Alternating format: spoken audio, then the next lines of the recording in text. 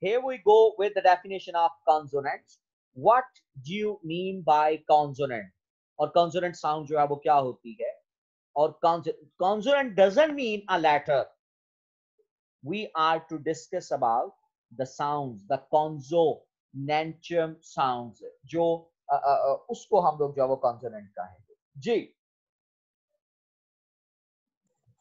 The word consonant has been derived from the Greek word consonantum, which means the sound produced with the help of some other sound vowel. यानी Both ये the ancient Greek है ये Greek definition traditional और conventional definition मानी जाती थी कि ये वो साउंड है जो किसी और मतलब जो वो साउंड के साथ मिलाकर बोली जाए तो वो कॉन्सोनेंट है अब ये definition ancient Greeks or Indian defined the consonant as a sound produced with the help of a vowel.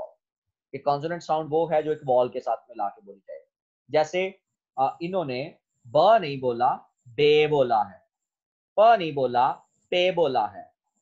ट नहीं बोला ते बोला है।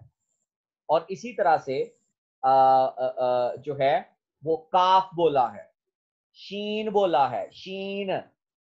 यानी श नहीं बोला शीन। इनके ख्याल में असल में ये एक बात यहाँ पर अब आपको ये अंदाज़ा होना चाहिए कि हमारे यहाँ ये अलेफ अलेफ फिर इसी तरह से बे पे। अब अगर इसको बे बोलेंगे तो आपको नेचुरली इसके साथ बॉल साउंड जो वो लास्ट में नज़र आएगा। बॉल साउंड के बगैर ये बे बोला नहीं जा सकता। ऐसे ही आ, मतलब जो है वो गाफ गाफ। तो अब आप उसमें आप अब आ साउंड जो है वो फिर से वॉल साउंड है। तो इस तरह से हमारी जो अलफ बे का कॉन्सेप्ट है या हिंदी ज़ुबान के अंदर इन्होंने इसके साथ डेलिबरेटली एक वॉल साउंड लगा और ये कॉन्सेप्ट एंशियन ग्रीक से इंडियन तक आया। लेकिन ये डेफिनेशन गलत और ये आपको इनकरेक्शन की तरफ़ लेके जाती है। अगर आप सपोज़ आज भी गाफ बोलेंगे तो आपको अंदाज़ा नहीं है कि वो जो गाफ साउंड है तनहा, वो आपको किस तरफ़ लेके जाएगी। आपका उर्दू का एक लफज भी नहीं बन सकेगा। लेकिन ग साउंड सिर्फ़ ग जो अंग्रेज़ी में और वही साउंड उर्दू में, ग साउंड जो है, वो आपकी तमाम उर्दू ज़ुबान के अल्फाज को बना दे यानी कि उर्दू ज़ुबान के अंदर जितने भी अल्फाज ग से शुरू होते हैं, वो वहाँ पे सब जगह पे फिट होगी तो ये एक बहुत बड़ी करेक्शन है, जो हमें करने की ज़रूरत है, कि हमारे यहाँ हमने गलती कहाँ पर की हुई है, कि हम जहाँ पर ये तस्वर करते हैं, कि हमारी जो कॉन्सोनेंट साउंड है, उसके साथ लाजमी एक वॉल आना चाहिए। और यही वजह है कि आप अलफ से लेकर ये तक आप तमाम जगहों पर देख लें, आपको ये तो उसमें भी वॉल मौजूद होगा, बे, उसमें भी वॉल मौजूद होगा रे, अब रे आर ए वाई रे, उसमें भी वॉल मौजूद है, अब दाल डाल अब इसमें भी वॉल मौजूद है तो कौन सा ऐसा हमारी साउंड थी जिसमें वॉल मौजूद नहीं था?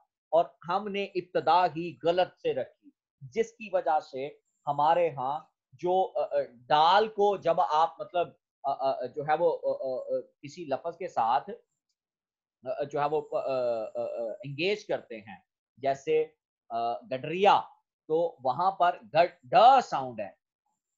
डाल नहीं है। ड साउंड मौजूद है, लेकिन डाल कहीं पर भी नज़र नहीं आता। तो ये हमारा मिसकनसेप्शन था, और यही वजह कि हम आज तक अलग से लेके ये तक को उसी गलत ट्रेडिशन के ऊपर जो हम पढ़ रहे हैं। उसी गलत ट्रेडिशन के ऊपर हम फॉलो कर रहे हैं। That's why we do wrong things in this perspective as well आप ए से लेके जो हमारे बच्चों को हमारे बच्चों को ए से लेके जेड तक पढ़ाया जाता है उसमें भी यही कुछ है। ए बी अगर वैसे देखा जाए B E F G H अब। इन सब के अंदर भी आपको एक ना एक वॉल मिलेगा। और अब यही वॉल जो है हाँ। वो यही हमारे लिए एक तरह से मिसकंसेप्शन की वजह बनता है। और हमने कभी बच्चे को ये नहीं सिखाया किसी लेटर को देते वक्त कि असल में इसकी साउंड है। ये ऐसा नहीं है कि जनाब हमने बी बोलना है तो उसके साथ लाजमी एक वॉल आएगा। अब बी तो ये नेचुरली ब एंड ई उसके साथ साउंड बॉल की आएगी तो बी बोला जाएगा अदरवाइज़ नहीं बोला जाएगा। ये एक ऐसा कॉन्सेप्ट है जिसको हमें दुरुस्त करने की ज़रूरत है, जिसको मतलब जो है वो इसको री एंगेज करने की ज़रूरत है। अगर हम इसको री एंगेज नहीं करेंगे तो ये एक बात तय शुदा कि हमारे बच्चे जो हैं, वो गलत कॉन्सेप्ट को रिकॉल करते रहेंगे। Okay ji. First there are sibilant consonants such as स and ch. And some are laterals and nasals which can be pronounced without the help of any vowel. Secondly, there are many languages which have words without any vowel. Alfaz hain. For example, an African language, Igbo, has words ing and g, ing. मतलब ऐसे जो अल्फाज हैं वो वहां पे इबो language के अंदर जो वो बोले जाते हैं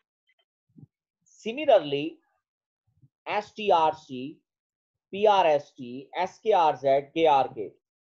Do not put finger in your mouth. अब ये पूरा एक जुमला है जो चेक लैंग्वेज के अंदर बोला जाता है कोई बॉल नहीं है लेकिन जुमला मौजूद है तो consonant has been defined by most modern phoneticians and linguists कि जो कॉन्सोनेंट है वो क्या है कि जितने भी मॉडर्न uh, uh, uh, जो है वो फोनेटिशियंस जो हैं और uh, uh, जो लिंग्विस्ट हैं वो इसको प्रोड्यूस करते हैं as a sound which is produced by stoppage कि ये एक ऐसी साउंड है जो कि प्रोड्यूस की जाती है बाय अ स्टॉपेज और partial stoppage of the breath कि जब आपकी ब्रीथ या तो by a stoppage complete stoppage आ जाए या पार्शियल स्टॉपेज आ जाए आपकी ब्रीथ का तो तब ये साउंड प्रोड्यूस होगी और that is the actual definition that's to say in the production of consonant the movement of the air from the lungs is partially और फुली ऑब्स्ट्रक्टेड